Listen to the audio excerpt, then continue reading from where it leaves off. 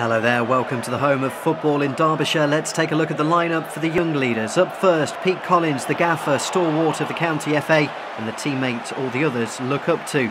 Then it's three at the back. 20 year old Long Eaton United man Michael Armstrong lines up alongside player coach Bradley Garner and pocket rocket ref Emily Foss. Across the middle, the veteran projects officer Emily Morgan as marketing and communications officer Roya Medizadi Valugieri and team admin man Mitchell Kirk for company. And the two up top are assistant team leader Jess Everall and leading from the front, team captain Sam James. Let's take a look at the facts and figures.